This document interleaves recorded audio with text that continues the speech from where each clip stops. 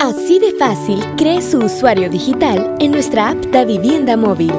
Paso 1. Realice la descarga. Paso 2.